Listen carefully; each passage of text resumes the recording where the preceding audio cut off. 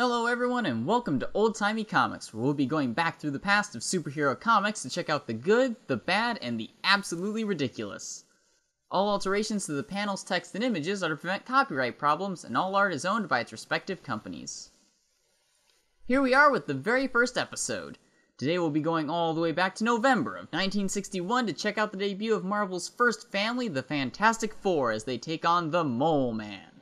So let's get started. Starting off with the cover, everyone's showcasing their powers against this giant green monster coming right out of the ground. Unfortunately, they're going about it in a way that doesn't really make any sense. I mean, look at Sue. She's in the middle of turning invisible, but what good is that going to do her when the creature already has a hold of her? And then there's Reed. He comments that these ropes are no problem for Mr. Fantastic, but where'd they come from? They're so small and skinny that I doubt the creature dragged him up to use against him, and it doesn't look like there's any civilians or other villains around, so. Well, that would leave one of his teammates as the one responsible. If I had to guess, I'd put my money on Ben since he always seems to be trying to find a reason to pick a fight with the other members of the team in all of the early issues. We move into the comic proper now as a flare goes off in the sky. Apparently, it's one of those fancy new flares that can display a completely legible message over the entire city. We see the one who shot it off and he's drawn in shadow as if they're trying to keep his identity a secret. But if you just look at the body shape and hairstyle, it's clearly Mr. Fantastic, so I don't understand why you would bother. Unless, of course, the cover is just tacked on afterwards and doesn't actually have anything to do with the comic itself. But they would never do that, right? So now it's time to introduce the rest of the gang. Sue Storm, the invisible girl, is the first to see the message while over at a friend's place. So what does she do? She doesn't give a, hey, I've gotta go, something just came up. No, she just turns invisible and runs out the door without saying a word. And once she is outside, she proceeds to run into every single other person that's on the sidewalk. Sue, just because they can't see you doesn't mean you can't see them. Come on. So after Sue is done being the most visible, invisible person ever, we skip to a store where a large man in a trench coat is shopping. When he and the clerk see the flare, the man decides he needs to disrobe right then and there, and we're introduced to Ben Grimm, the Thing. So now we cut to Ben's misadventures across town. Even though he had managed to get into the store somehow without destroying anything, he now complains that the door is too narrow and decides to just smash his way through it. Now, of course, this causes a panic, and thus, in quick succession, Ben gets shot by the police, smashes his way into the sewers, and then pops back up in the middle of the road right in front of an oncoming car. So that happens. And then, instead of being concerned for the driver, he complains that the guy didn't stop in time when a giant man made of stone popped up right in front of him. Now that Ben's done making a mess of things, the comic moves to Johnny Storm, the human torch, as he and his friend work diligently to repair a car. They look up as the hyper advanced flare from the start of the story now compresses itself into a giant number 4, because, you know, flares do that. Johnny needs to get going, so he decides to get there as quickly as possible and rockets into the air, burning a giant hole in the car instead of, I don't know, stepping out of the vehicle first to avoid ruining his buddy's hard work. Jerk. During his quick flight across the city, Johnny's flaming form causes a panic in the people below, so of course it's going to cause problems like Ben's trip did. In fact, his trip escalates even further with the military getting involved. That's right, in what should have been a short flight across the city, the military caught wind of a flying flaming person, organized and scrambled fighter jets, and flew them to New York City. Did the torch get lost or something on the way to the giant flare in the sky? Not that it really matters, since getting close to the planes is enough to just outright melt them. I'm surprised all those pilots aren't parachuting out with third degree burns, or that their chutes aren't just giant balls of fire.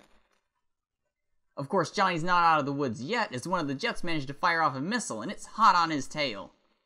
Luckily, he's managed to get to his destination, and Mr. Fantastic saves him by catching the missile with his bare hands and a human reaction time. Yeah. So, a couple technical notes on air to air missiles. The two main things to consider is that first, the operational range of a missile is typically listed in miles. In other words, realistically, Johnny's been fired on before he even knows he's under attack, or if the pilots fly closer to confirm their relatively small target actually is a threat, they're now too close for missile range anyway. Second, brushing all that aside, you need to consider the speed required of an air to air missile. After all, they need to be capable of not only catching up to, but overtaking enemy aircraft capable of getting close to or breaking the sound barrier. Even if Reed somehow manages to get his hands on that missile, he's certainly not stopping it due to its momentum alone. Anyway, back to the comic, since Reed does somehow catch and dispose of the missile.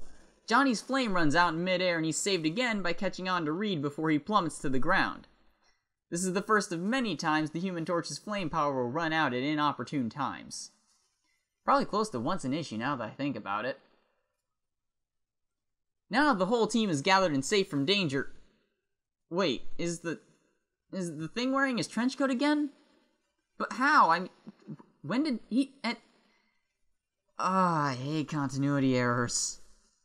Anyway, Reed prepares to tell the team why everyone spent almost half the issue gathering together. But first, flashback time. We cut to the team preparing to take off on an unsanctioned flight into space with their crew of four. They're desperate to beat the communists into space, but apparently don't have any government support. You'd think, oh, you have a way to get us into space before the Reds? Here, take our money and let's get this launch underway. But nope, they're on their own. So Reed is the scientist and brains behind the flight, Ben is the skilled pilot, Sue is tagging along because Reed is her fiance, and Johnny is tagging along because his sister Sue is tagging along. Right. Totally qualified for space travel. The team manages to sneak onto a heavily guarded military base and take off without a hitch. Who needs hours of pre flight checks? Those are for suckers. Once they're into space, though, the rocket is buffeted by cosmic rays and crash lands back on the ground in a hurry. The rays have a strange effect on the team, and we're now treated to a review of the group's powers for the second time in one issue. Sue turns invisible, Ben turns into a pile of rocks and fights Reed in his stretching, and Johnny's ablaze and starts a forest fire. Time to team up and be superheroes. Now we finally get to the actual plot of the issue. Reed shows the team a picture explaining that strange earthquakes have been destroying nuclear plants around the world. We get to see this firsthand as we skip over to West Africa, which was controlled by France around the time, and bear witness as a gigantic sinkhole opens and swallows the installation. Godzilla proceeds to climb out of the newly formed hole in the ground, or at least it's some sort of subterranean monster doing its best impression of him, Unfortunately, before we can get much Godzilla vs. military goodness, the beast is called off with our first actual appearance of the story's villain, the Mole Man. And we have less than 10 pages to go. By now, Reed has made the brilliant deduction that clearly the threat must be originating from the point that's exactly equidistant from all the attacks so far. And thus the team sets off to Monster Isle. Ooh. Once they arrive, they're immediately attacked by some sort of three headed hippogriff thing. It decides to go after Sue, who turns invisible, which apparently leaves the beast stunned in bewilderment. This gives Reed the chance to throw his arm around its neck and drag it into the water. Rest in peace, Cerbogriff. With the threat taken care of, the ground suddenly gives way underneath Reed and Johnny, separating the party. They wind up in a completely dark cave before an intense bright light causes them to black out because of I don't know, sensory overload, I guess. When they awake, they find themselves dressed in these ridiculous blue suits that apparently protect them from the light that caused them to black out. What's it coming from? A natural field of diamonds that are already mined and cut to shape. Their wonder is cut short, though, by the Mole Man, who prepares to tell them his origin story. But first, we check in with Ben and Sue, who becomes visible again just as she can get attacked by a giant rock monster before the team's giant rock monster intervenes and throws the attacker into the drink. Rest in peace, Craggy. With that out of the way, we cut back to the Mole Man moaning about how the surface shunned him because he was ugly and how he eventually wandered into a cave and fell to the center of the earth. Huh. Somebody must have been reading Jules Verne at the time. He tells them how the fall robbed him of his sight, but he somehow developed a radar sense over time. Wait, so what? He's a short, fat daredevil? Man, talk about a horrifying sight if they ever brought that up in modern comics. He decides they can't simply take his word for it and sets out to prove this by engaging Reed in martial combat. For some reason, Reed decides to play along and not use his powers, getting taken down like a chump. Having knocked one guy over with a stick, the Mole Man decides this is the best time to monologue about his plan to invade the surface world using his vast array of underground tunnels. Once he's finished with that, Ben and Sue manage to find the others so this comic can have a climactic conclusion. Things continue escalating as the Mole Man calls Godzilla to join the battle. Johnny flames on to combat it, which he totally couldn't do while the Mole Man was giving his backstory, or beating up Reed, or rambling about his evil plot. Reed then snags the Mole Man with his stretching abilities, which he totally couldn't do while the Mole Man was whining about how much his life sucks, or when he was getting beat up by a portly daredevil with a stick. During the commotion, the Mole Man summons a literal army of subterranean monsters to combat the heroes. As they prepare to battle, the team realizes we only have half a page left and decides to GTFO. As they fly away, the Mole Man decides to blow up Monster Isle because he was discovered, I guess. Apparently, being found trumps a vast tunnel network and a giant monster that shrugs off tank fire. But either way, the Fantastic Four have won the day. Kind of. Thank you so much for watching and I hope you enjoyed the episode. If you did, please like and subscribe for more videos. So what did you think of the first episode and initial outing of Marvel's first family? Have a suggestion for a character or comic to cover on the show? Let me know in the comments. If you want to see for yourself what these stories are all about, you can either purchase them digitally or check them out on Marvel Unlimited.